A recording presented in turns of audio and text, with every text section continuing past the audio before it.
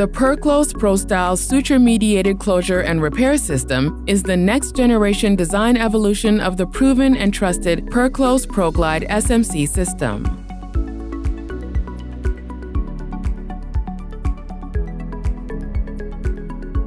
Each Perclose ProStyle device is designed to deliver a single surgical suture for percutaneous closure and repair of an access site.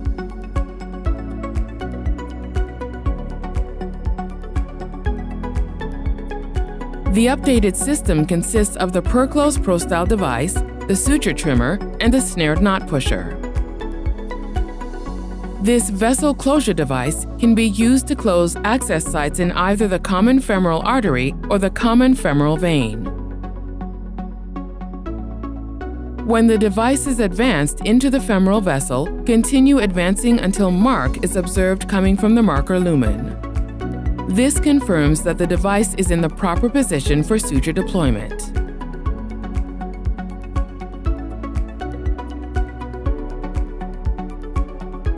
Once in position, the black lever, marked number 1, opens the foot. Lift the lever to open the foot and position the cuff to control the placement of the needles around the access site.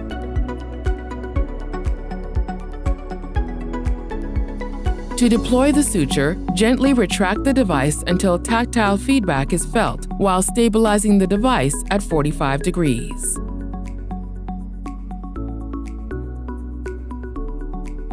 Be sure to maintain this position while depressing the plunger. Depressing the plunger deploys the needles into the cuffs of the foot.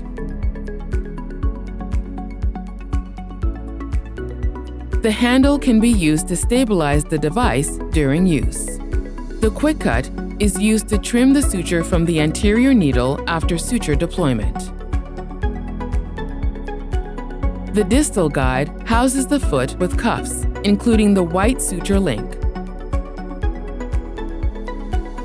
The guide wire exit port helps maintain access of an 038 inch or smaller guide wire. The tapered sheath has a hemostasis valve within that restricts the blood flow through the sheath.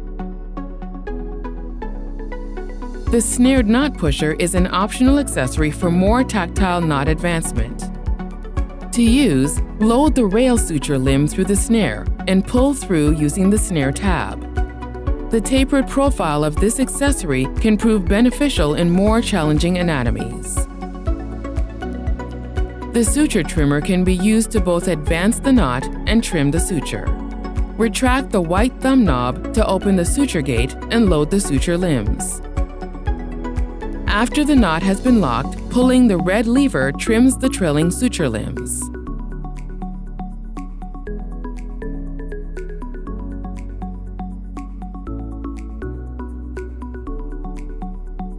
To prep the device, verify marker lumen patency by flushing it with saline until saline exits the marker port.